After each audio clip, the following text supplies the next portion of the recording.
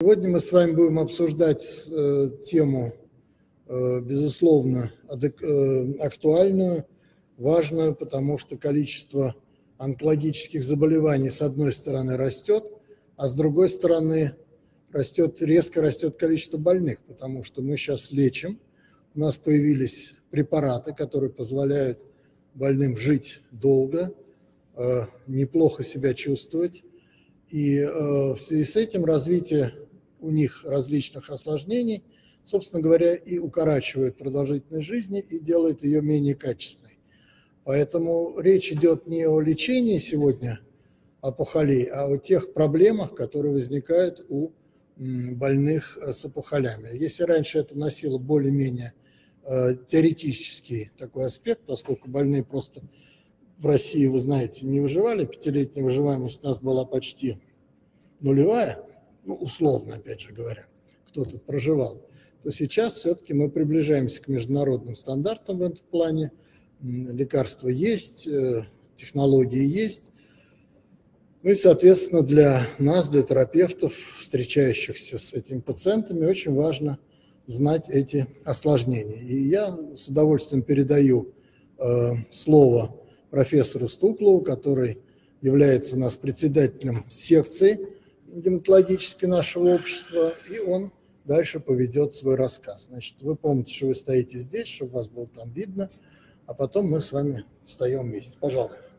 Глубоко уважаемый Павел Андреевич, еще раз хотел поблагодарить за приглашение, за возможность работать в таком значимом, серьезном обществе и для Москвы, и для России. Э, большое, уважаемые коллеги, спасибо, что пришли. Я все-таки готовил доклад для терапевтов, но, конечно, придется немножко какие-то жаргонные слова использовать. Э, смысл в чем этого моего доклада? Если вы просто запомните, что непонятная анемия всегда требует э, мыслить и думать, а нет ли у больного какого-то плохого заболевания, то же самое касается и тромбоза. Мы вот с сосудистыми хирургами часто проводим конференции. Все-таки мы договорились, что если мы не знаем, что за тромбоз произошел, откуда тромбоз произошел, то все-таки надо, конечно, онкопоиск проводить. То есть, может быть, первые ласточки вот, злокачественной опухоли – это как раз вот анемия и тромбоз. И с одной стороны, это очень частая история, больше, чем у половины больных эти ситуации имеются, не говоря уже о ситуациях, связанных с химиотерапией, лучевой терапией, даже первичные заболевания, заболевания часто характеризуются вот этими проявлениями. И несмотря на то, что это очень частая ситуация, нету каких-то четких пониманий, представлений э, о том, что это за э, синдромы, э, почему они развиваются, что с ними делать и вообще как к этому относиться. Все понимают, вот с одной стороны, парадокс анемия у онкологического больного – это очень плохой прогноз. Все знают, что, в общем-то, по идее, этого больного надо более радикально оперировать, более интенсивную лекарственную терапию проводить. Однако наоборот, как только у онкологического появляется анемия, онколог тут же говорит, иди к терапевту, восстанавливай гемоглобин, а после этого приходи, мы тебя будем лечить. И это приводит к тому, что э, удлиняются интервалы между лечением, проводится неадекватная терапия, и все это приводит к еще большему усугублению вот этого негативного влияния анемии. И поэтому бремя диагностики, бремя лечения анемии очень часто как раз ложится сейчас на плечи терапевтов, врачей общей практики и так далее. О тромбозах вообще э, можно говорить э, еще более проблематичная история, потому что в зависимости, то есть тромбоз лечится не специалистом, который занимается причинами, которые вызывают тромбоз, а именно связан с локализацией тромбоза. То есть им занимаются неврологи отдельно, кардиологи отдельно, пульмонологи отдельно. Если тромбоз воротной вены, гепатологи этим занимаются, флебологи.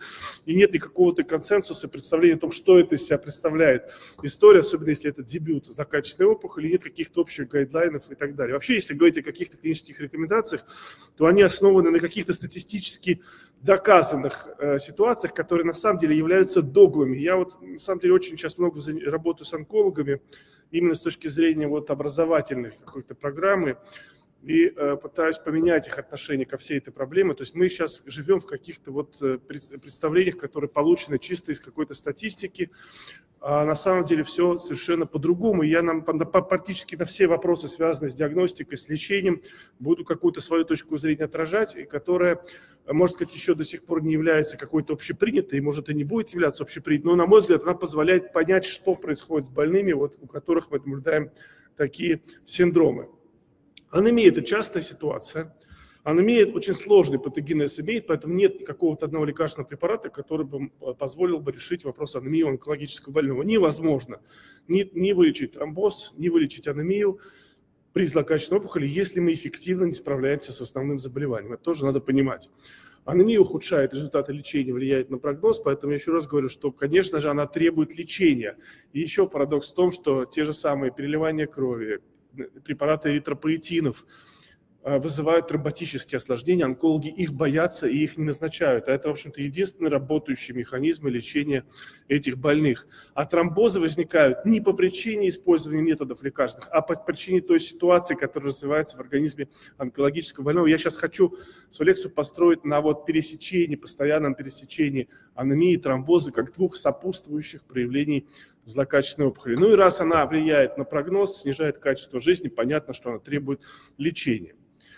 Э, почему очень много теоретических моделей, почему анемия э, является плохим прогностическим фактором.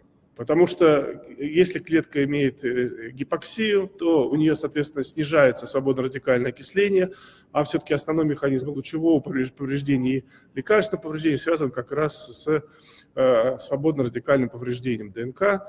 И эта ситуация замедляется и снижается эффективность лечения при гипоксии. Соответственно, гипоксия вызывает огромное количество изменений в организме, которые приводят к развитию неоангиогенеза, прорастанию сосудов опухоль и развитию способности опухоли к метастазированию. Ну и гипоксия изменяет э, структуру ДНК в плане того, что появляется возможность э, появления вторичных мутаций, развития субклонов и так далее. И так далее. Это все теория, она на самом деле ну, к медицине не очень большое отношение, все-таки это такая больше биологическая история. Я гораздо проще понятнее попытаюсь объяснить, э, почему анемия является плохим прогностическим признаком при злокачественных опухолях.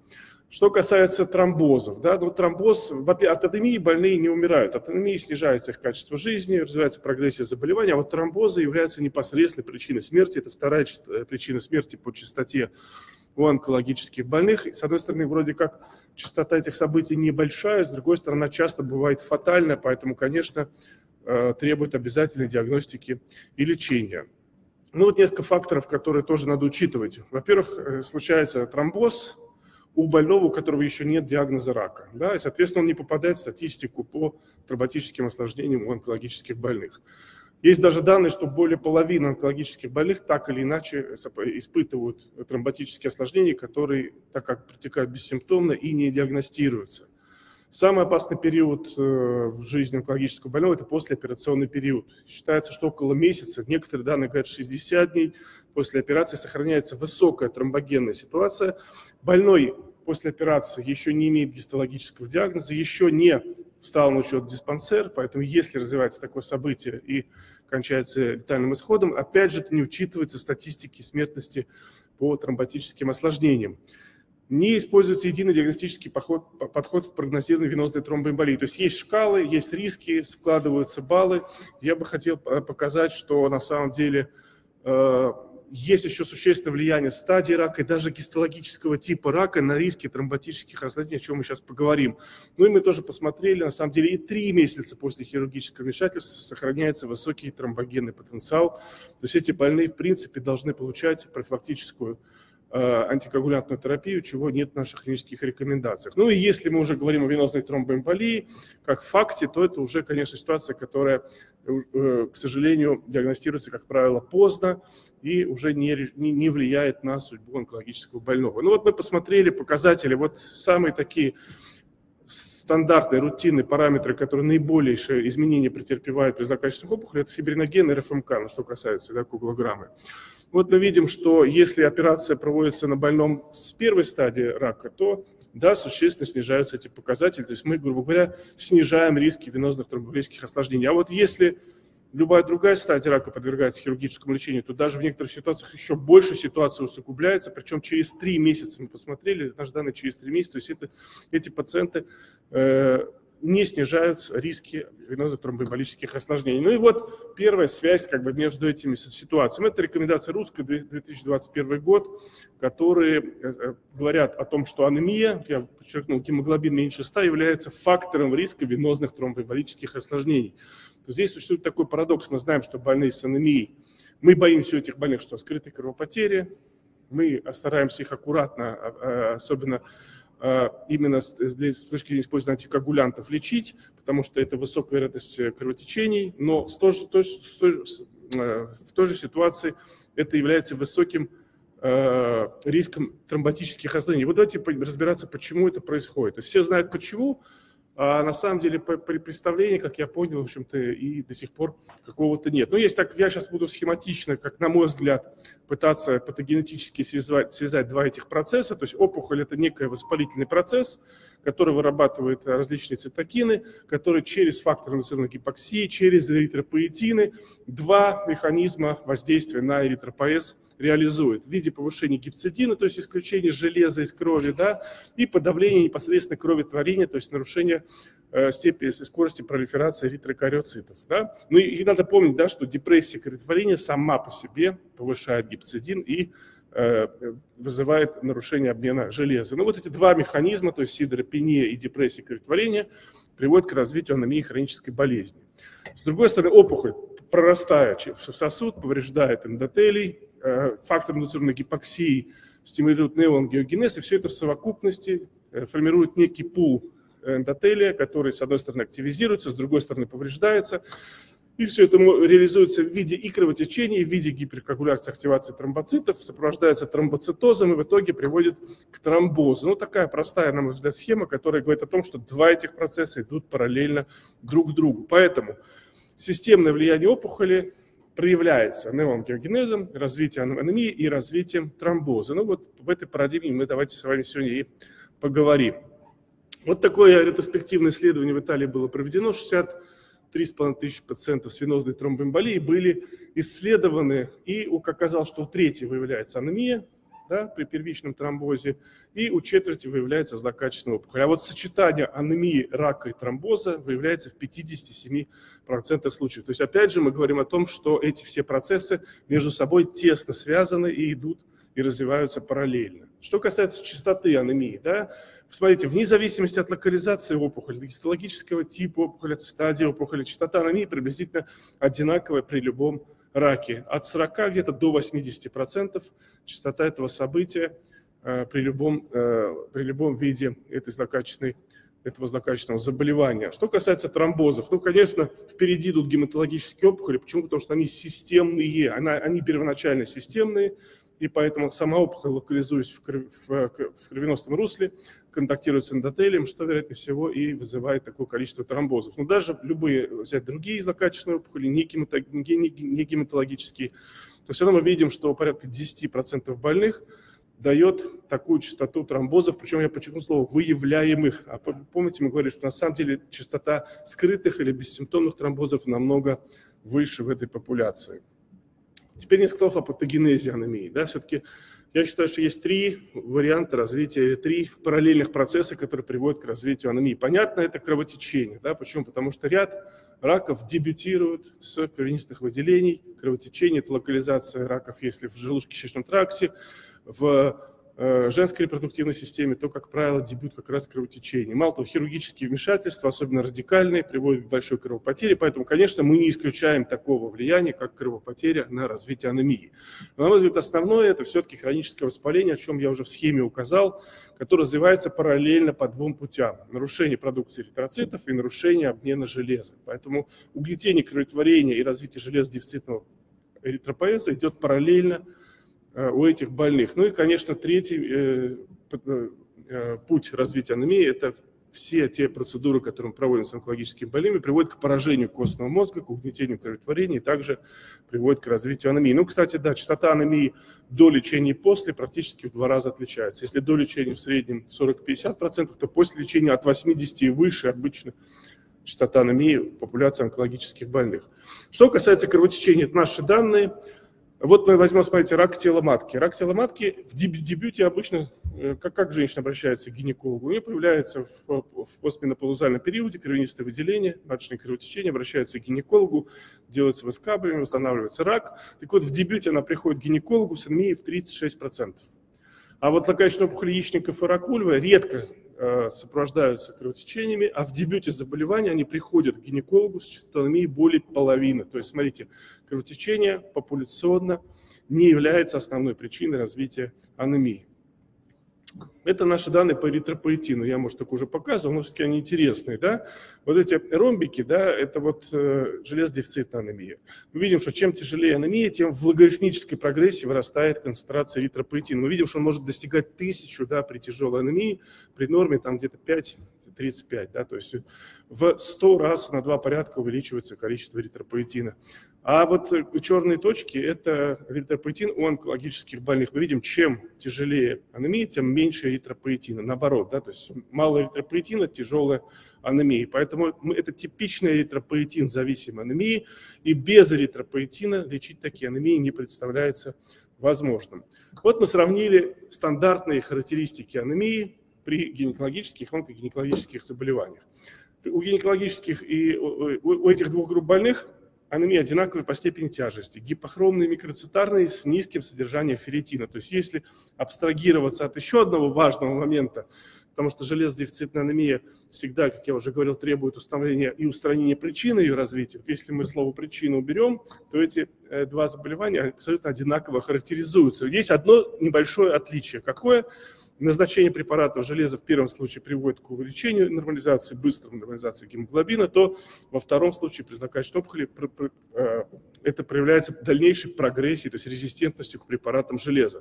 То есть, с одной стороны, мы понимаем, что если мы выявляем рак, то лечение препаратами железа не работает в этих больных, а с другой стороны, если мы назначаем лечение железодефицитной анемии и видим отсутствие ответа, то мы должны всегда думать, а нет ли здесь злокачественной опухоли. Почему это происходит? Да? Да потому что при злокачественных опухолях мы посмотрели крайне высокие показатели цереактивного э, белка и самое главное вещества, которые блокируют вот этот эффект железа, то есть гипцидина. Да? Это типичная такая анемия хронической болезни, резистентная к препаратам железа.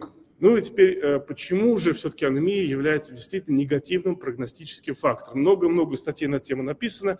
Я специально красно выделил только такой тезис один, который ну, с такой огромной достоверностью показывает, почему действительно это негативная история.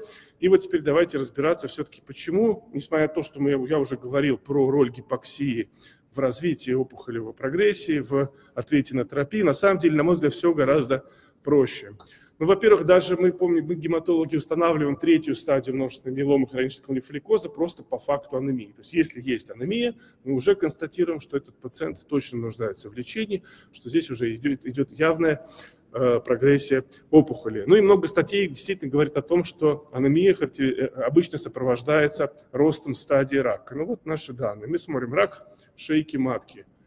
Чем больше стадии рака, тем тяжелее анемия. Да? То есть еще раз, когда мы видим больного с анемией, мы должны понимать, что здесь имеет место уже не только наличие факта злокачественного опухоли, а именно системного воздействия прогрессирующей опухоли на кроветворение. То есть если мы видим анемию, мы всегда думаем, что это, скорее всего, уже метастазы рака.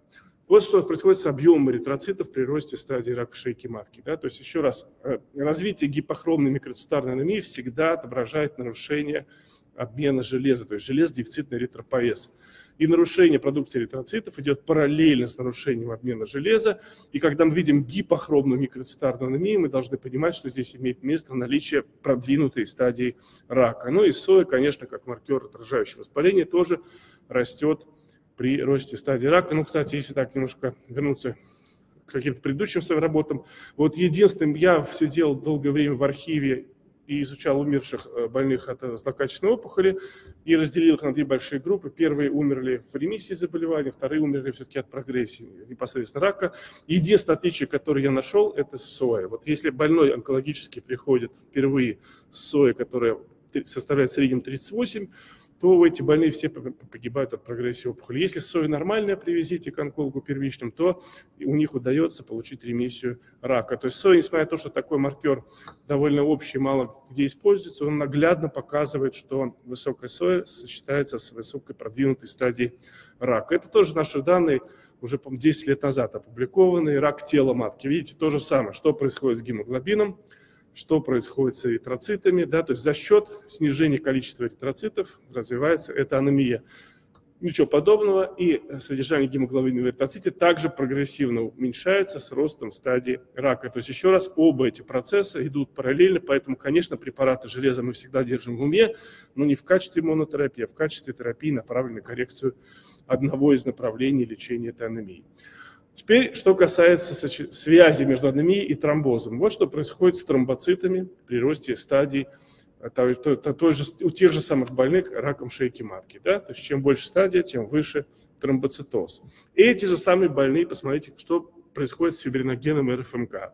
Чем больше стадия рака, тем статистически достоверно растет фибриноген и РФМК. То есть мы говорим о том, что когда мы видим э, э, ракового больного с анемией, значит, мы предполагаем, что у него уже есть метастазы, и значит, мы уже понимаем, что у этого больного высокий риск тромботических осложнений. И здесь эти события реализуются без всякой терапии анемии сами по себе, в связи с такими показателями. Это вот тоже наша данная табличка Excel. Я подчеркнул э, гемоглобин и корреляцию его проверил вот с семью самыми достоверно связанными со стадией заболевания параметрами. Вот я вывел в квадратик, что фибриноген и дедимер имеют обратную высоко достоверную корреляцию с гемоглобином. То есть чем тяжелее анемия, тем выше фибриногены, тем выше процесс тромбообразования. То есть дедимер – это первичные больные, у которых не было выявлено тромбоза. То есть это процесс такой тромбообразования перманентно происходящий, еще не реализующийся в виде тромбоза. Вот другая часть этой работы, немножко перейдем теперь к другой роли анемии, как мы ее сейчас себе представляем, как мы ее уже в практике начали реализовывать, вот этот подход и понимание того, что анемия говорит о метастазировании. Вот рак шейки матки. Приходит пациентка к онкологу. Онколог осматривает. А рак шейки матки – это тот рак, который визуально можно хорошо изучить, посмотреть и прямо, в общем-то, сделать цитологическое исследование в кресле, да, то есть это тот рак, который находится внутри организма, это онкогинекологи хорошо его понимают, видят и так далее. После этого назначается инструментальная диагностика КТ, ПЭТ-КТ, МРТ, УЗИ малого таза и так далее. И устанавливается определенная стадия рака, и затем эти пациенты обязательно идут на хирургическое стадирование. Если это предполагается небольшая стадия рака, одновременно делается радикальное хирургическое лечение. Если это стадия продвинутая, то берется биопсия и берется сторожевой узел, чтобы оценить размер или приблизительный масштаб э, метастазирования этого рака. Да? Так вот, оказалось, что после хирургического стадирования – больше половины больных меняют свою стадию. То есть все наши данные клинического осмотра, инструментальных методов позволяют всего лишь в 50% правильно поставить стадию рака. Мало того, если вернуться, да, то есть у трети больных, рыжим показано, находятся метастазы, которые ранее не выявлялись другими методами инструментальными. То есть мы говорим о том, что до хирургического лечения невозможно планировать объем хирургического вмешательства. То есть даже непонятно, можно ли этого больного радикально оперировать или нет. Вот такая парадигма в онкологии до сих пор существует. Ну, действительно, вот, э, опять же, из статьи одной из последних взял, срок жизни больных с анемией гораздо меньше срока жизни больных без анемии при любом абсолютно заболевании злокачественном, будь то лимфома, рак легкого, рак яичников, абсолютно неважно. Анемия всегда дает плохой прогноз. Почему это происходит? Потому что когда мы, э, ну, я, по-моему, сейчас покажу. Да, ну вот, пожалуйста, э, влияние, да, предоперационной анемии на выживаемость онкологических больных. Посмотрите, в три раза частота выживаемости отличается у больных, у которых была и не была анемии. Да, если анемия есть, это крайне негативный фактор. Почему вот здесь сразу у меня возникает ответ на этот вопрос, который я вот предлагаю как бы как свое мнение, то, что сравниваются две несравнимые группы. Нельзя сравнивать больных с анемией и без анемии, потому что больные с анемией – это больные с метастазами. Больные без анемии – это больные с локальным раком. И нельзя их сравнивать, а во всех статьях, если мы посмотрим, сравнивается общая популяция – и это абсолютно неправильно. То есть нельзя так. Вот вы смотрите, вот эти семь параметров, которые мы нашли, рутинные параметры, которые берутся у каждого онкологического больного, который приходит на обследование к онкологу и которому планируется хирургическое лечение.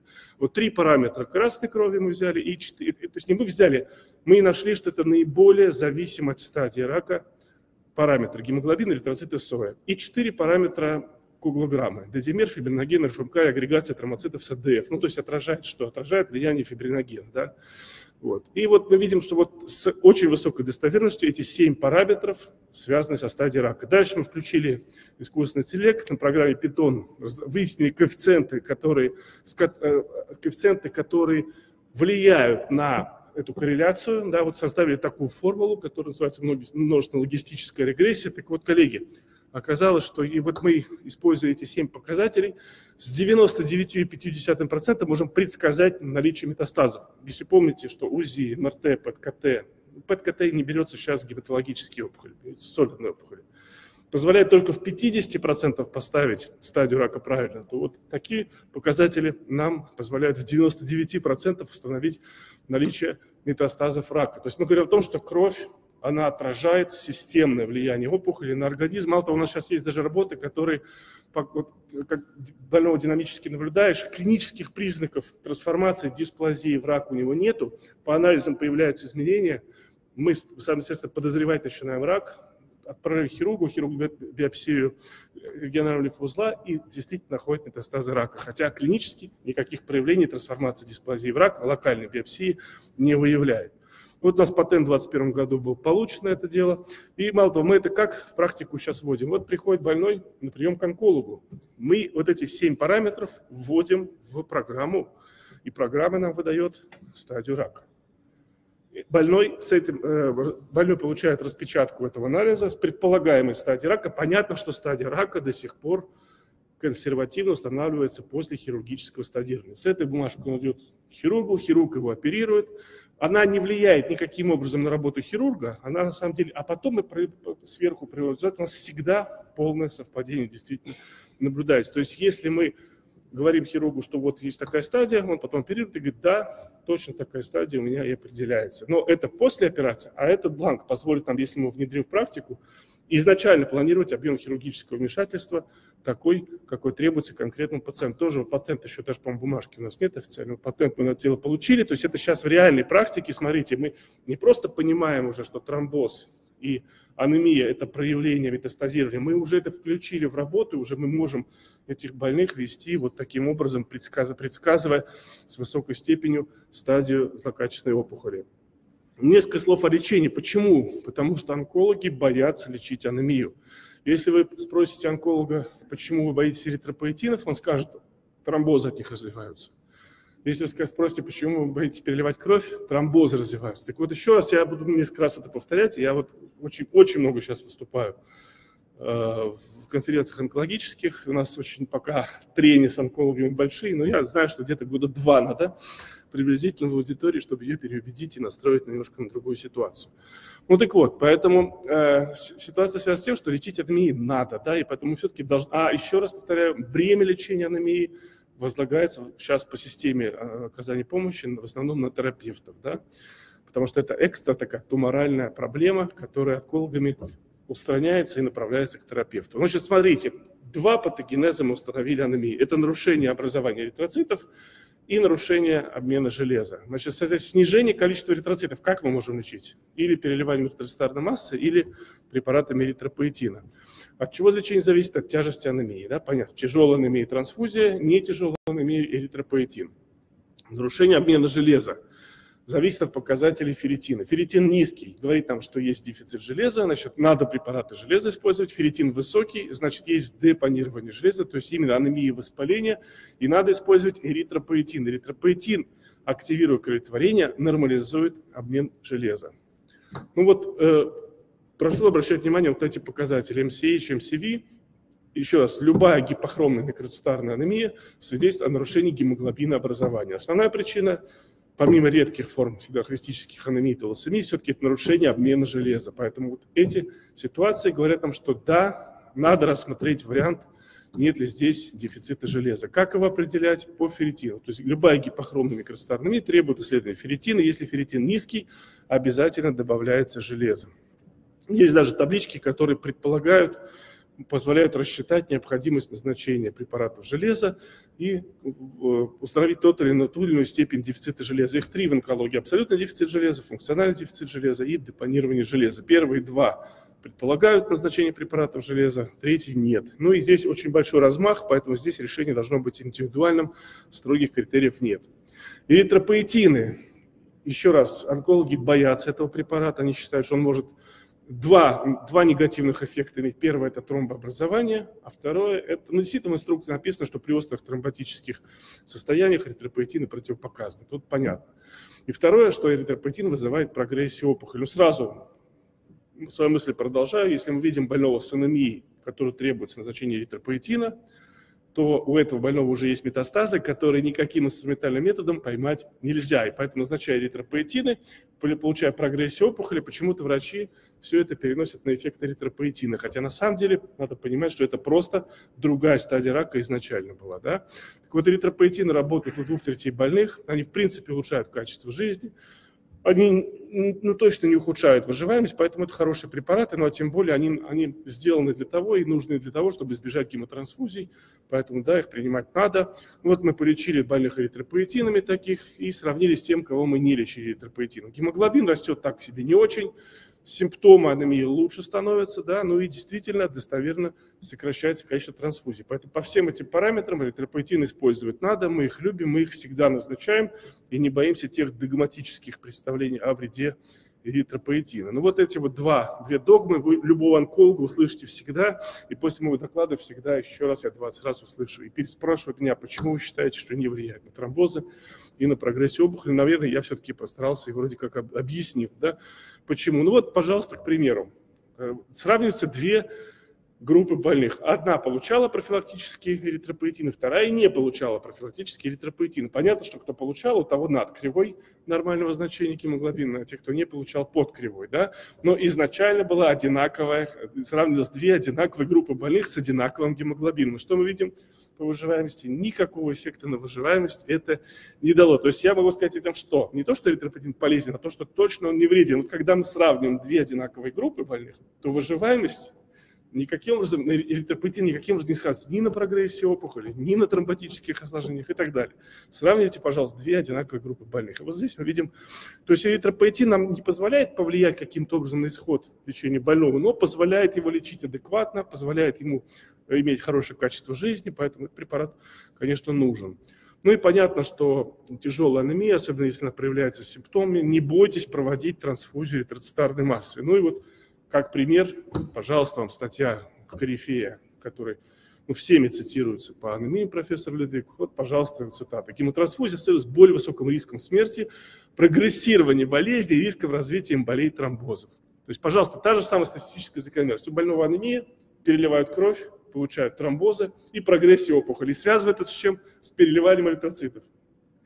То есть мы сейчас живем в, э, эпоху больших чисел, да, когда сравниваются просто статистические данные, а выводы делаются абсолютно неправильные. И вот эти догмы, к сожалению, приводят к тому, что, еще раз, онкологи устраняются от вопросов лечения анемии и перепоручают это терапевтам, хотя терапевт вообще никакого отношения вот к этим проблемам не должен иметь, потому что это типичное проявление опухоли. Это никакое не экстратуморальная э, ситуация, это именно результат э, наличия заболевания у больного. Вот. Помните, что трансфузия проводится по показаниям, которые имеют клинические значения, и, в общем-то, не надо ориентироваться на показатели гемоглобина. Ну, то есть два основных показателя – это необходимость быстрого подъема гемоглобина. То есть любой больной с анемией должен получить должное хирургическое вмешательство в нужном объеме, несмотря на тяжесть анемии. То есть ему переливаются эритроциты, э, нормоксия, он вводится в состояние нормоксии, проводится нормальное э, э, абсолютно какое показано хирургическое лечение, после этого уже он переходит на следующий этап терапии. Ну и, конечно, если есть симптомы анемии, которые не купируются другими способами, тоже это показание для трансфузии эритроцитов. Еще несколько слов о том, что важно не только стадию рака, но еще и даже тип рака очень сильно важен в представлениях о патогенезе анемии и тромбозов. Вот мы сравнили аденокарциному, плоскоклеточный рак и железистый плоскоклеточный рак. Причем могу сказать сразу, что мы посмотрели по стадиям, абсолютно одинаковые по возрасту эти больные, абсолютно были одинаковые по стадиям рака. То есть это не какая-то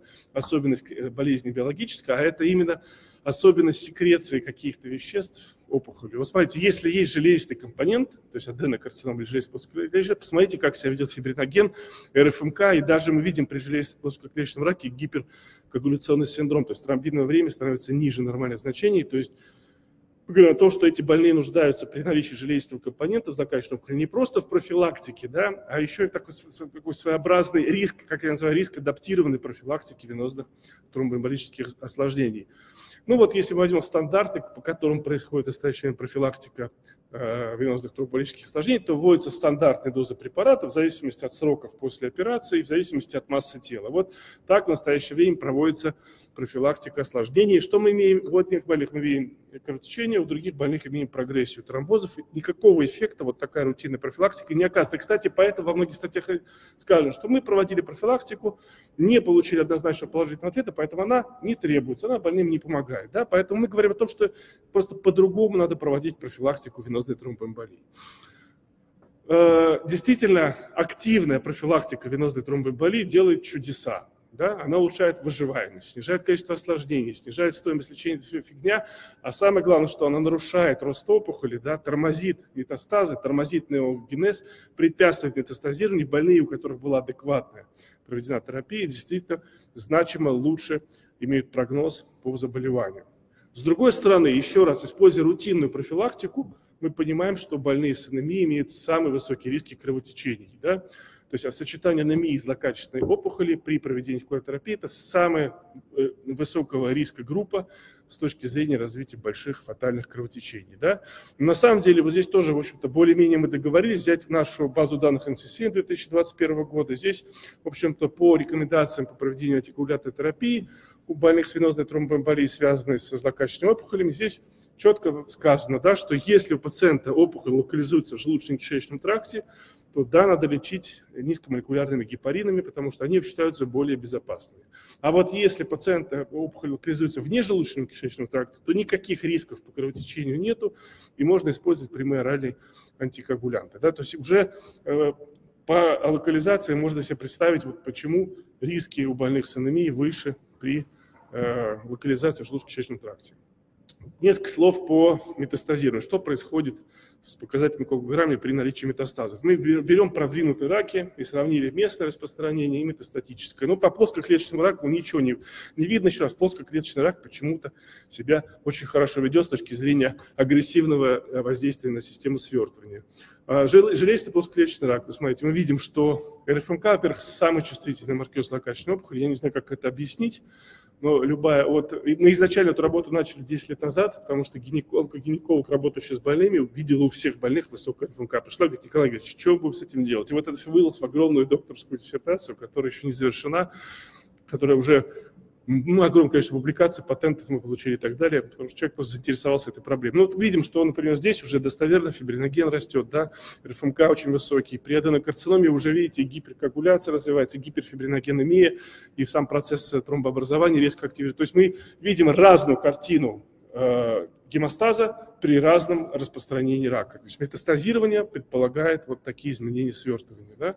Ну и вот мы сейчас получили тоже, в 2016 году получили патент, который показали, что раз мы имеем такие данные, то надо больных э, проводить антикоагулянтную профилактику по-разному, в зависимости от стадии заболевания и гистологического типа опухоли. Если это плоскоклеточные раки начальной стадии, то мы берем вот эту табличку и по ней занимаемся тем, чем надо. Если это больные с распространенными стадиями плоскоклеточного рака, то коэффициент должен быть выше. А если есть железистый компонент, то мы уже практически должны работать с лечебными дозами низкомолекулярных гепаринов, потому что там мы имеем дело по факту уже с гиперкоагуляционным синдромом, то есть это уже та патология, которая требует уже э, лечебной тактики, а не профилактики. Ну и в итоге, вот последние несколько слайдов, я хотел сказать, что, как, на мой взгляд, реальная суть синдромов при а, анемии тромбоза, при злокачественных опухолях, то есть анемия и тромбоз отражают процесс прогрессии опухоли. То есть это предполагает агрессивное лечение анемии, агрессивную профилактику тромботических осложнений и более агрессивное лечение опухолей. Тогда нам удастся вот это, убрать вот эту догму и парадигму нашего поведения, что эти больные нуждаются в паллиативной терапии. Ни в коем случае. Поэтому анемия само по себе это равно, и мы это доказали, это равно метастазы, прогрессия и резистентность терапии.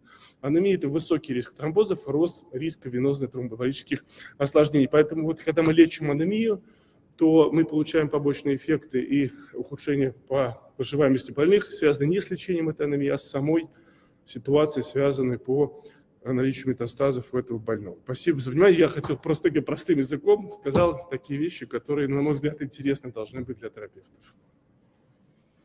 Спасибо. Спасибо большое. Вопросы?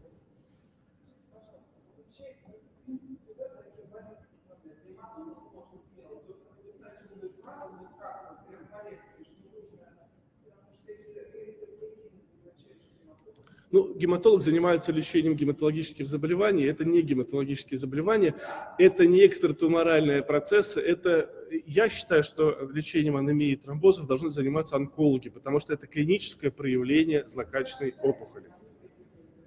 Да, ну это, да, эти вопросы, они, к сожалению, вот в настоящее время, я не знаю, они не решаются, мы это все время обсуждаем, и в настоящее время действительно их вопросы сложно как-то решить, но я вам, как для терапевта, просто дал ответ, как надо вести, как надо лечить этих больных, в том числе, чтобы вам было тоже проще, понятнее. Ну да.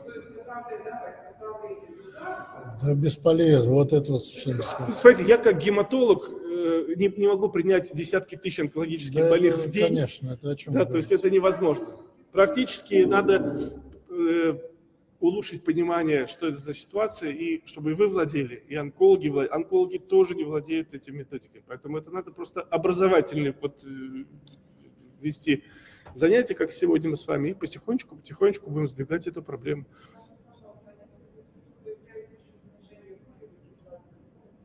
Да, ну вот... Давайте вопрос надо повторять, потому что там не слышно. Э, если у больных э, онкологически выявляется дефицит фолиевой кислоты и B12, да, что делать в этой ситуации? Вот эти сложные схемы, которые в клинических рекомендациях написаны, не полностью сбивают с толку. Значит, если есть дефицит фолиевой кислоты и гиперхромная макроцитарная анемия с большими эритроцитами, то это называется фолиевой дефицитной анемией. И тогда она лечится фолиевой кислотой. Если у онкологического больного гипохромная микроцитарная анемия и снижение фолиевой кислоты, то я это называю клинически незначимым снижением фолиевой кислоты. Никаким образом она не влияет на кроветворение, потому что у нее гипохромная микроцитарная анемия. Значит, здесь патогенез анемии связан с нарушением обмена железа, а не с дефицитом фолиевой кислоты. Договорились? Мало того, избыток фолиевой кислоты для злокачественной опухоли – это что? Субстрат роста и пролиферации опухоли. Поэтому мы стараемся максимально ограничивать их использование.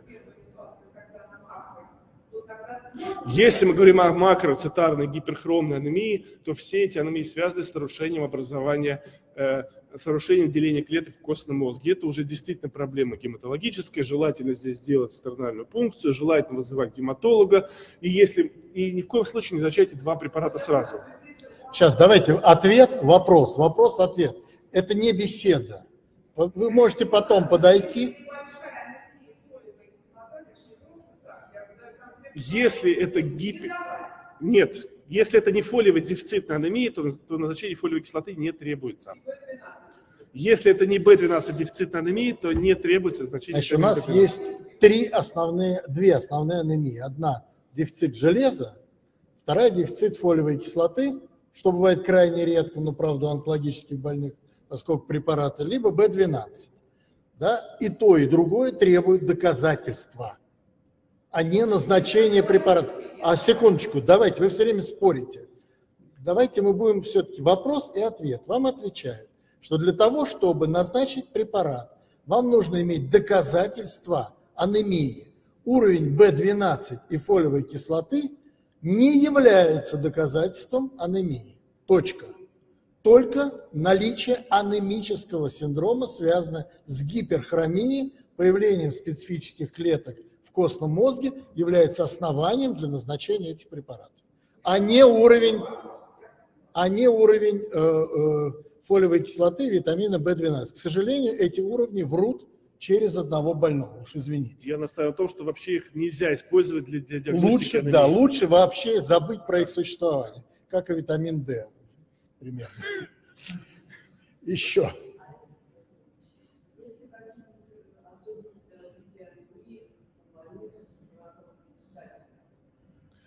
Ну, вы знаете, каких-то особенностей анемии не выявлено, да, то есть на самом деле настолько гетерогенны все эти процессы, я бы сказал, что она имеет сложный патогенез. Вот есть очень хорошая работа у профессора Рукавицы, она изучает вообще анемию хронической болезни, при разных воздействиях, ревматизме, раке, туберкулезе, СПИДе. И он разделяет все анемии хронической болезни на три варианта. Анемия хронической болезни с преимущественным нарушением эритропоэза, анемия хронической болезни с преимущественным нарушением обмена железа и анемию хронической болезни, которая протекает и с тем, и с тем одинаково путем. То есть здесь дело не в раке, а в дело вот в эффекте этого рака на анемию. Я показал, что при раках, вот вообще разные раки показывал, и тот, и тот механизм приблизительно одинаково работает. То есть мы должны и нормализовать кроветворение, и нормализовать обмен железа, как я тоже, по-моему, показал. Договорились?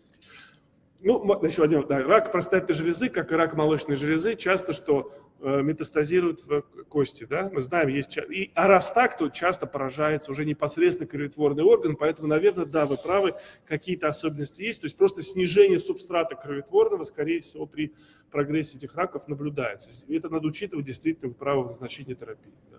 Я бы обратил внимание на ваш слайд, точнее, я-то обратил, что рак э, простаты в 10 раз меньше дает тромбозов, чем все остальные раки. Знаете почему? Кто-нибудь знает почему? Но. Потому что гипердиагностика рака. Это тот рак, который очень плохо диагностируется, в том числе морфологически. Это выдуманная болезнь по нашей классификации. 90% рака простаты не надо вообще никак лечить, и тем более диагностировать. И ПСА должно быть запрещено так же, как B12 с фолиевой кислотой.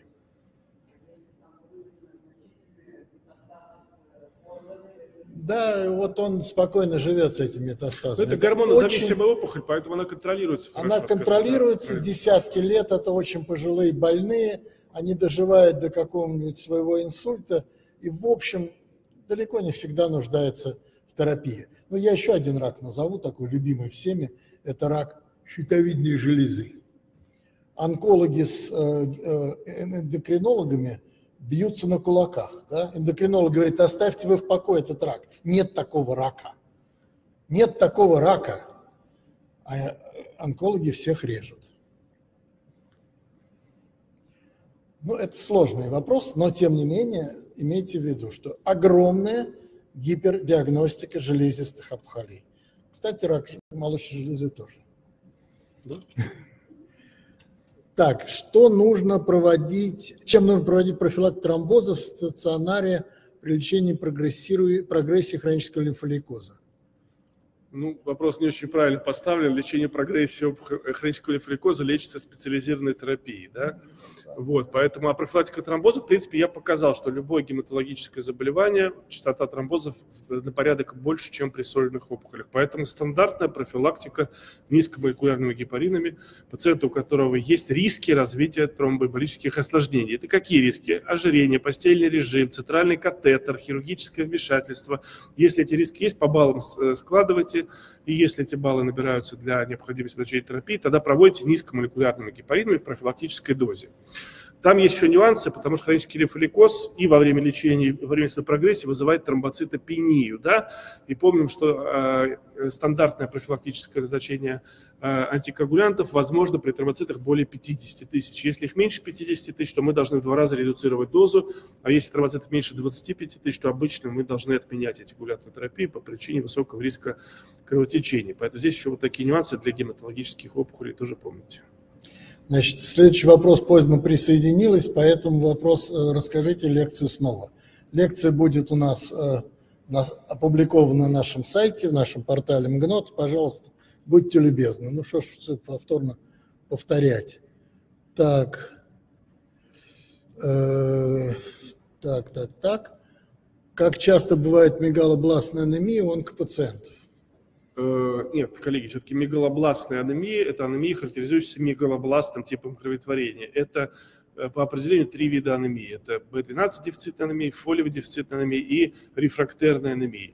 Э, наличие злокачественной опухоли здесь никаким образом не влияет на постановку диагноза. Да? Другое дело, что, конечно, повышенное расходование фолиевой кислоты при любом воспалении, соответственно, коллагенозе злокачественной опухоли, нарушение всасывания фолиевой кислоты по причине энтеропатии, связанных с химиотерапией, назначение метатриксата как антагониста фолиевой кислоты, естественно. Но на самом деле в клинических рекомендациях есть ссылки на эти анемии при лечении анемии онкологических больных, но в практике, на самом деле, я таких анемий вот классических не видел. Все равно, э, еще раз повторяем, нужно ставить диагноз, выяснять, устранять причину и назначать или тот, или, или другой вариант лечения. Ни в коем случае два витамина сразу не назначайте. Ну, во всяком случае, частота мегалобластных анемий как будто бы не растет при да. опухолях. Да. Это да. не связанные да. вещи. Да. Так, если у пациента ХБП умеренная анемия, ЦРБ нормальный, РОЭ 58, то может ли такое РОЭ объяснять, объяснить самой анемии или подумать о онкопоиске? ну, интоксикация, да, грубо говоря, значит, неадекватно проводится диализ, или там, если это не диализ, да, больной, только вы забыли указать гемоглобин. Да, да. Вообще, коллеги, еще раз, вот я всем для примера, чтобы вы понимали хорошо, что такое соя, кто-нибудь за рулем, если ездит, попробуйте в Москве проехать днем и ночью, и почувствуйте существенную разницу в скорости передвижения. То есть соя зависит от количества эритроцитов. Много эритроцитов – маленькая соя, мало эритроцитов – большое соя. А следующий фактор – это уже воспаление, да, то есть снижение заряда эритроцитов при абсорбции тех или иных молекул другого заряда, которых не должно быть в крови, то есть любая интоксикация не специфически увеличивает соль. Ну, два, для мой взгляд, да. фактора. В основном там фибриноген вокруг эритроцитов образует оболочку, снижает заряд. Что такое э, э, роя? Это эритроциты отталкиваются друг от друга за счет положительного заряда. Да? Если эритроцит окружен чем-то, в первую очередь фибриноген, то он падает. Но есть еще одна деталь э, немножко. Если вы палочку ставите вертикально, то роя, ну, предположим, 5. А если ее наклонить под 45 градусов, какой рой будет? Больше, меньше?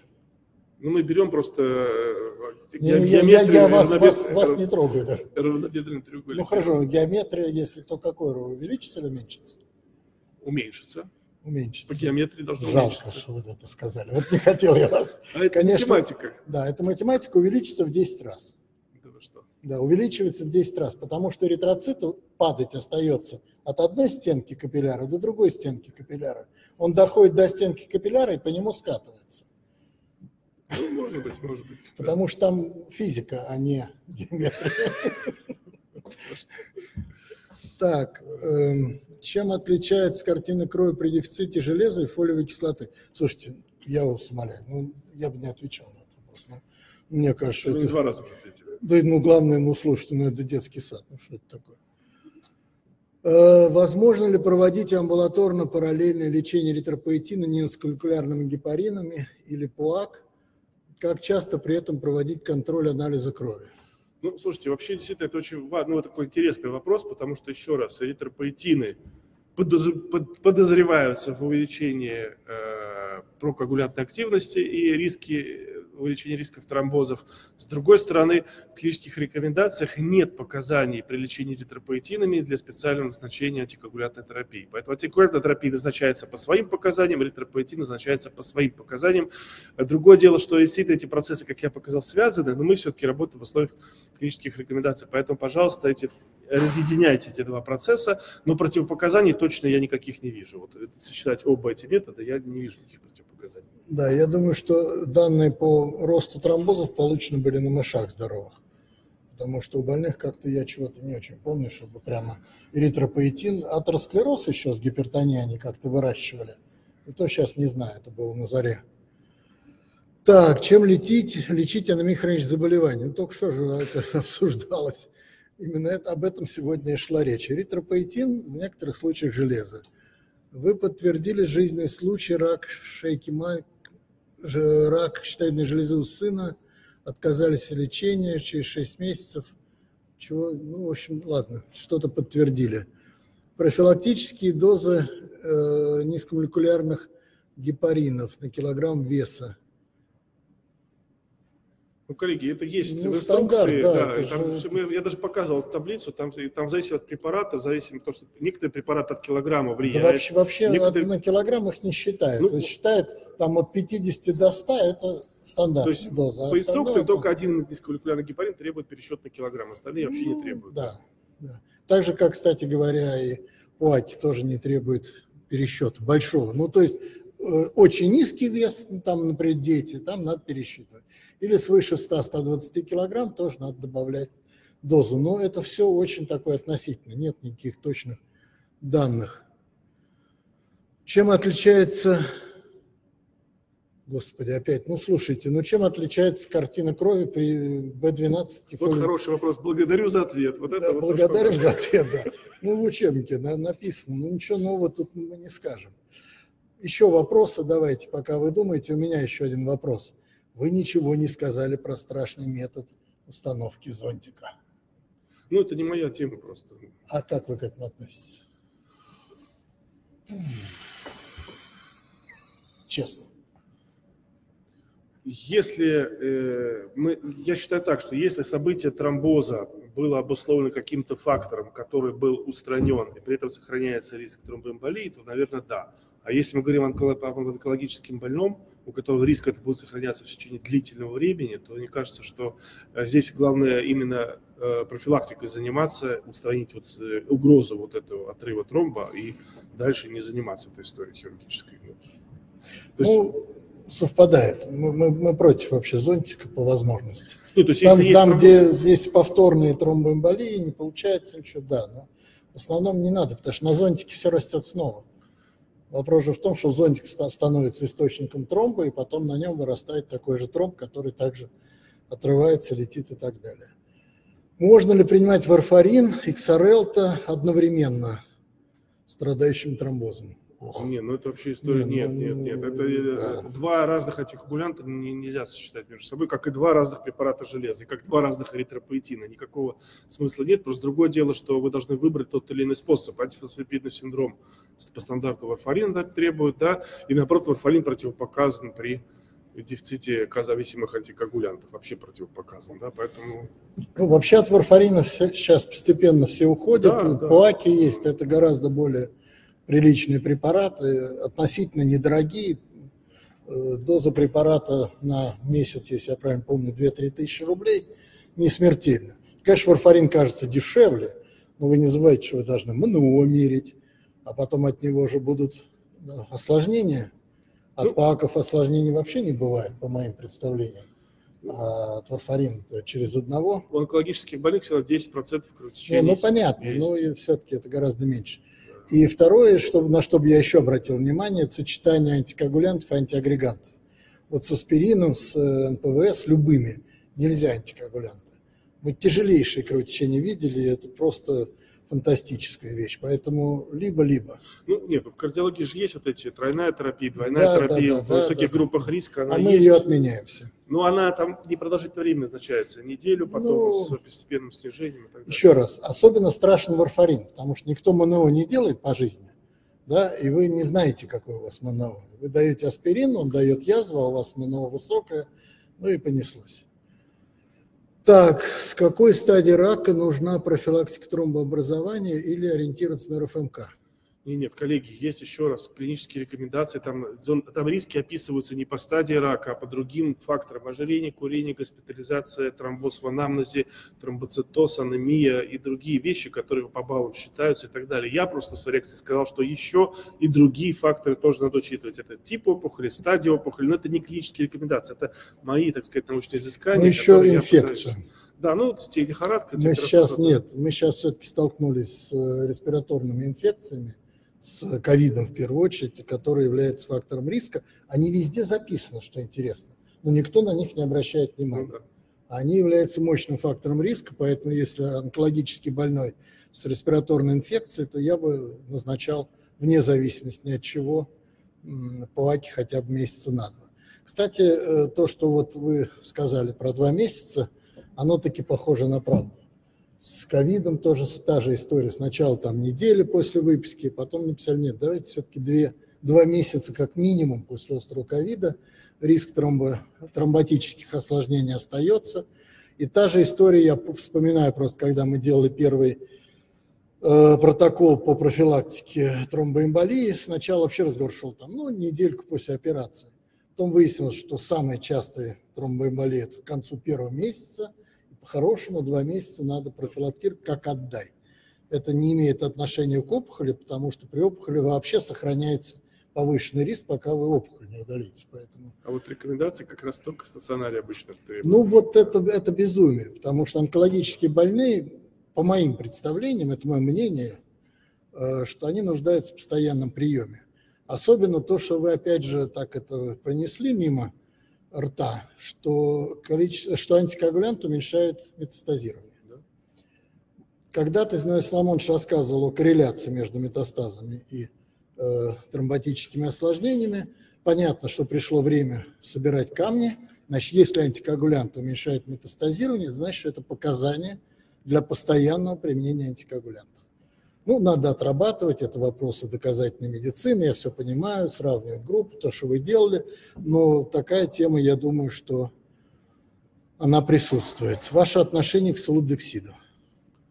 Ну, в принципе, э, с одной стороны, если мы говорим о классической медицине, оно, в общем-то, э, так как это вообще бездоказательный особый препарат, то с классической точки не очень. На самом деле я его люблю и применяю часто, потому что у него, ну, на мой взгляд, есть несколько механизмов действия. Он небольшой, так сказать, и гепариновый эффект имеет, и небольшой антиагрегантный эффект имеет. Я, в общем, его действительно назначаю, особенно вот в группах риска, у беременных женщин и так далее. Хотя, конечно, если мы говорим о теме онкологической, то здесь нет, конечно, нет. Ну, э, не могу, не, не, не, опять же, не сказать да. вам гадость. Да. У него уровень доказательности А. Ну, у солодексида. Если вы состав его еще привезете, понимаете? А состав у него один, это один препарат. Ну, из нет. чего он состоит-то? Ну, из того же, из чего гепарин, собственно говоря. Ну, та, та же, тот же бульон. Но, ну, бульон, да. Бульон, бульон да. полезный. Ну. Значит, у него есть э, уровень доказательности А при э, венозной патологии, и у него есть хорошее рандомизированное исследование, сейчас не вспомню в какой стране, но это южноамериканская страна сделана, где показали, что ранний прием солодексида при ковиде снижает частоту госпитализации и тяжесть состояния.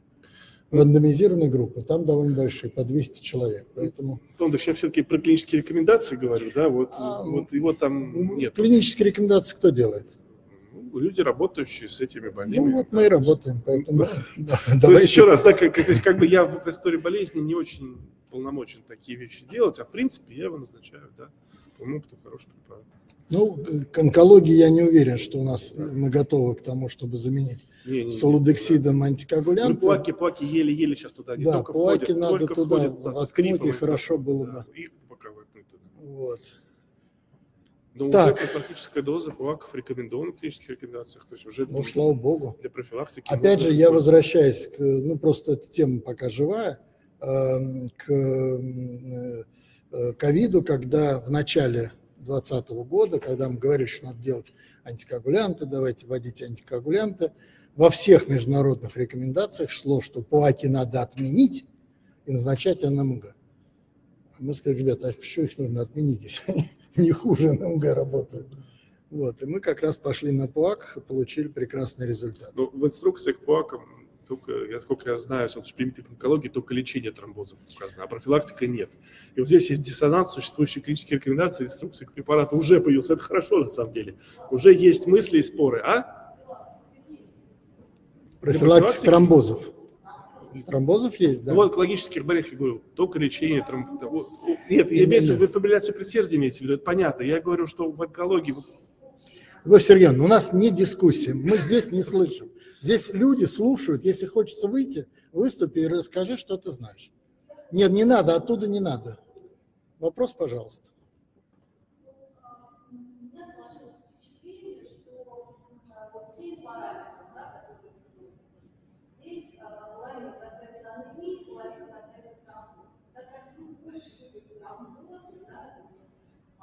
сложилось впечатление, что вы все-таки на первое место ставите анемию, что на нее надо обращать внимание, она является прогностическим фактором. Вы а, тот факт, что неоангиогенез, воспаление запускает ТБС-синдром в первую очередь, да, который хронический. И здесь, в общем-то, и да, второй участок, анемия, это может быть. Ну и как далее, конечно, если цитокины, вся схема, конечно, она тоже, безусловно, В чем вопрос? Нам нужно... нам нужно трансформировать. Вопрос в том, что, что да, вопрос, я озвучу ваш вопрос, что почему мы все-таки анемию ставим первую, а говорим об анемии как о прогностическом факторе, а тромбоза вторым местом ставим, да? Хотя на самом деле больше факторов свертывания участвует в этой формуле. Действительно это, ну потому что, например, данных доказательных по роли анемии в Э, про, про прогнозе онкологического больного больше, тромбозы все-таки больше ассоциируются с летальностью, нежели с прогностическими вещами. Да? Потом все-таки самым рутинным показателем является клинический анализ крови, то есть у каждого больного гемоглобин мы смотрим. А вот э, агрегацию тромбоцитов СДФ, РФМК мы уже берем не у кого. В нашем институте у каждого, а в других нет. Поэтому мы говорим просто про скрининг. По важнейшим скрининговым исследованием является клинический анализ крови. Я поэтому про него и начинаю всегда говорить. Не, а на самом деле гемостаз нам не менее существенную роль играет. Да, действительно, правы. Так, еще вопросы, друзья? Нет вопросов.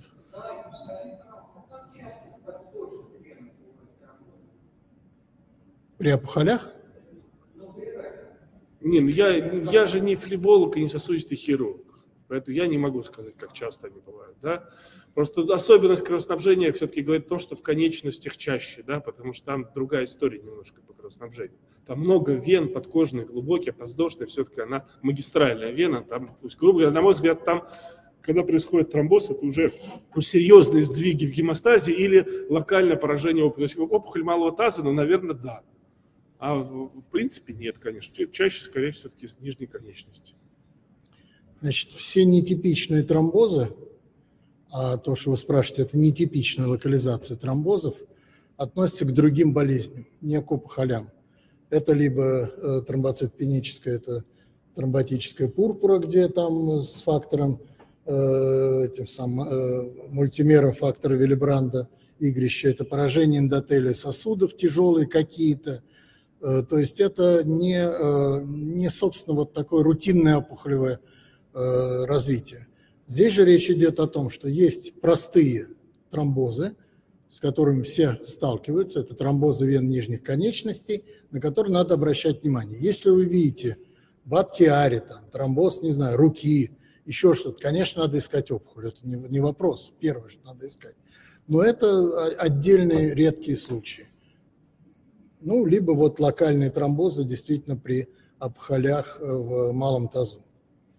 Так, при лечении препаратами железа до какой величины нужно нормализовать исходный пониженный ферритин? Да, ну у нас есть клинические, слава богу, рекомендации, их все ругают на самом деле, но там четко сказано, ферритин должен быть в конце лечения 40-60 микрограмм на литр.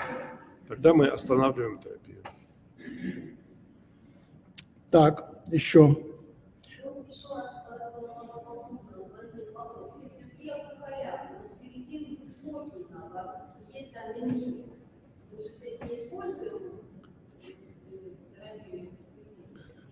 Эритропоэтином или железом? Железом.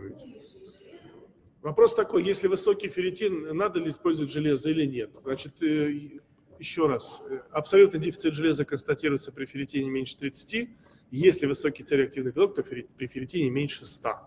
Как я показал, и не только я показал, многие злокачественные опухоли, особенно женской репродуктивной системы желудочно-кишечного тракта, протекают в том числе с кровотечениями, поэтому с низким ферритином.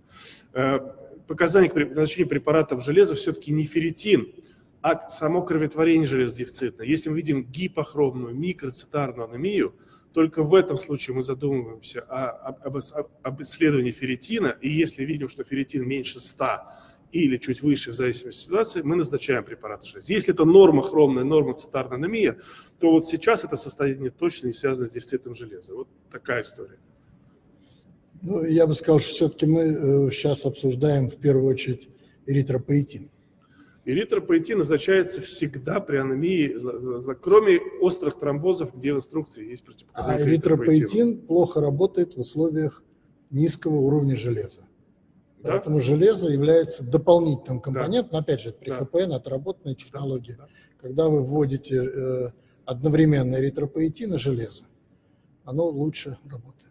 А в нефрогенной в клинических рекомендациях ферритин меньше 100 является показанием для препаратов железа. То есть там даже другие уровни ферритина. Ну и, конечно, нас сейчас очень сбил с панталыку ферритин высокий на фоне воспаления, потому что раньше было все понятно, низкий хорошо, а сейчас он действительно бывает высокий, но это может быть связано с какими-то дополнительными факторами и не являться причиной аномизации. Так, еще. Выступить хотите, Любовь Сергеевна? Не хочет. Спасибо. Только вопрос. А, давай. Спасибо. Спасибо. Ну, у меня не совсем выступление. Хочу поблагодарить Николая Игоревича за, э, за такой интересный доклад, за эту тему.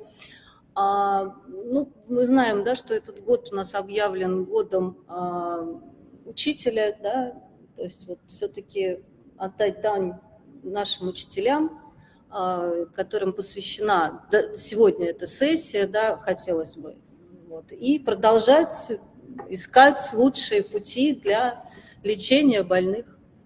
Спасибо. Спасибо. Так, ну тогда я традиционно подведу короткий итог. Эм, так получилось, что я, я никогда в жизни вообще к онкологическим больным близко не подходил. Я говорил, чур меня, чур меня, это пускай они там занимаются. Но сейчас так получилось, что я каждую неделю смотрю онкологических больных, вижу те проблемы, о которых вы говорите, вижу, что онкологи плохо понимают и анемию, и тем более тромботические осложнения – они направо-налево всем ставят зонтики. Я их прошу этого не делать, но они продолжают это делать. Эм, хотя мы в рекомендациях по тромбоэмболии уже давно, больше 10 лет назад написали, что зонтики устанавливаются только в особых случаях, только при неэффективности антикоагулянтного э, профилактического лечения. Вот. Ну, к сожалению, ну, я думаю, что мы добьемся снижения э, этого метода. Хотя, ну, поскольку мы работаем в платной клинике, то, сами понимаете, э, никто не отменял средний чек. Вот. И здесь очень, к сожалению, отрицательное влияние вот этой э, платной медицины. Э, что я бы, конечно, хотел отметить, это вопросы корреляции между тромбозами и анемиями это страшно интересно, потому что обычно это никто не связывает между собой. Обычно это э, в одну сторону анемии, в другую тромбозы. Более того, даже наоборот, говорят, что анемии хорошо, тромбозов не будет, э, потому что сворачиваться нечему. Оказывается, все не так, все ровно наоборот. И э, мне кажется, что в этом плане это очень было хорошо показано и рассказано. На что бы я отдельно обратил внимание, это на вашу работу с искусственным интеллектом. Сейчас это э, всем на слуху, чат GPT, туда-сюда. Значит, вот мы э, с помощью искусственного интеллекта ставим диагноз ковида, постковидного синдрома. У нас вероятность постановки диагноза ковида 89,5%. 89,5%. Никакой ПЦР, никакой там КТ даже рядом не стояло. И мы используем, ну, мы используем анамнестические жалобы, анамнестические данные. У нас нет практически данных по каким-то лабораторным исследованиям. То есть мы спрашиваем, делали вам или нет, но мы, это не наша задача. Но мы знаем, что и по другим э, диагнозам тоже можно работать с помощью искусственного интеллекта и ставить по неожиданным, а ваши признаки неожиданные для онкологии, по неожиданным признакам выявлять э, совершенно Э, э, нестандартные результаты. И я вспоминаю историю, которую рассказывал Израиль Моисеевич Гельфан, точнее его группа, которая работала с Сыркиным, клиника Первого меда, кардиология. И у них стояла простая задача – сделать прогноз смерти при остром инфаркте миокарда. Они добились прогноза смерти на третьи сутки пребывания в стационаре. Собственно, они отбирали вот эти нестандартные признаки, потому что им сразу начинали говорить, курит, там вес, еще что-то такое. Все не работало. Работало все совершенно другое. И вот методика в поиске этих признаков, она, собственно, отрабатывалась вот этой группой Израиль Моисеевича. И э, э, история состояла в том, что Конечно, врачи говорили, ну, слушайте, ну, ваши это глупости, математика, какой-то калькулятор, что там нам считаете? А это были конец 70-х, начало 80-х, ИВМ еще так, может, и были, но это были другие ИВМ. А, наконец, произошло событие, когда а, они выкатили из реанимации одну больную с постановкой, где был поставлен диагноз, что она помрет, вторую больную, где был поставлен диагноз математиками, что она помрет. И когда померла третья больная, они сказали, нет, знаете, что-то в этом есть. Давайте мы не будем выписывать больше этих больных, которым математики сказали, что они умрут. Это был перелом такой, и они очень горды были тем, что они смогли убедить врачей, которые совершенно э, по понятным причинам относились негативно ко всем изыскам математическим, смогли убедить, показать. Это, конечно, не evidence-based, но тем не менее. И вот это, мне кажется, крайне важное направление э, заведения э, каких-то симптомов, признаков. Пока, может быть, это черный ящик. Я понимаю, может быть, мы не все знаем, не все понимаем, может быть, мы будем Э, выявлять влияние мочи на солнечные лучи, тоже понятно.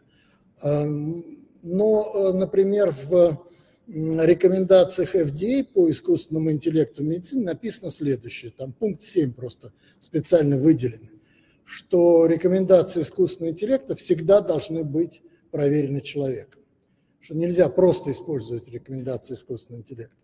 И вот мне кажется, если вы сделаете, покажете Э, результаты применения этой технологии с, с корреляцией по хирургическим результатам, это будет высший пилотаж, просто высший пилотаж. Я уверен, что вам это нетрудно сделать, поскольку у вас база данных есть, больные все известны. Даже если это будет не супер большая там, группа больных, тем не менее, э, такие корреляции, они позволяют сегодня очень хорошо говорить о развитии э, вот этих технологий. Вот. Э, ну, в целом, мне кажется, была крайне положительная лекция, которая, наверное, ставит много вопросов, э, в частности, о разделении труда между онкологами и терапевтами. Э, конечно, ужасная история, когда мы слышим от онкологов, вы сходите в поликлинику, поднимите гемоглобин, потом придете. За это, конечно, хочется вырвать язык, но что делать? Что делать? У нас же это все разделено теперь дурацкими приказами, дурацкими э, рекомендациями. Я к ним негативно отношусь. Я просто, поскольку я отец-основатель всего этого, к сожалению, стандартизация в здравоохранении, я понимаю, насколько плохо сейчас все это выглядит. Но делать нечего, надо с этим бороться, шаг за шагом, доказывать, что нужно делать, что нужно делать правильно – ну, а для этого, собственно говоря, наше общество и собирается, для того, чтобы мы могли диссеминировать наши знания, рассказывать об этом. Э, ну и, в принципе, никто нам не запрещает делать свои рекомендации, что мы и делаем периодически, э, вот, и двигаться дальше. Спасибо большое, как всегда, было очень интересно.